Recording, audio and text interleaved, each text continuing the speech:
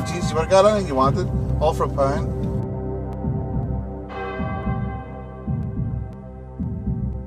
You hit them when they're laughing and they're talking like that because you think you're talking about you.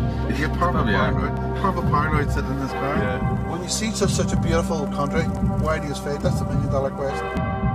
This is actually the route your man Michael Stone took with the parade that day. I was here, down here when that all, that all transpired. It's there but frightening. And some young Nazi have died. Heroes. I'm going to give everyone in wee guys a medal. Everybody's got a price, but it's not always that way. It's not the at all. Number one, what would they have done if they caught him? The guy still was armed.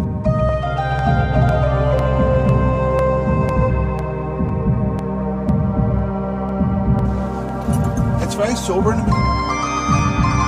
Belfast banter is rough. The music saved us. Music you. Good vibrations. Beat the Black Widow.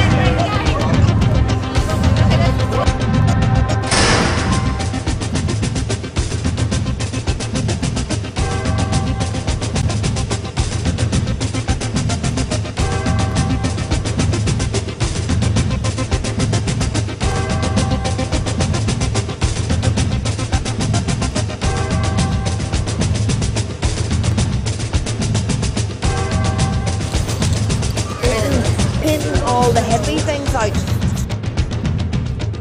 Dogs of peace everywhere on the side gable walls and things, and people wanted peace. And all that was wiped out. And what I'm saying is the shooting have wiped out that element of heavydom. And we had a thing to say too. The old hippies taking loads of bloody trips and whatever. And we're all over a tree in the middle of all this shit. And they wiped all that out. So that's wrong.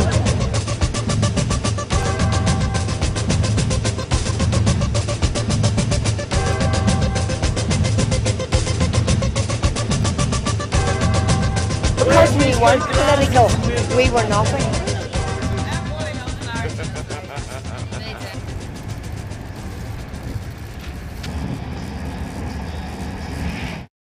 Will, will we just I think out of box?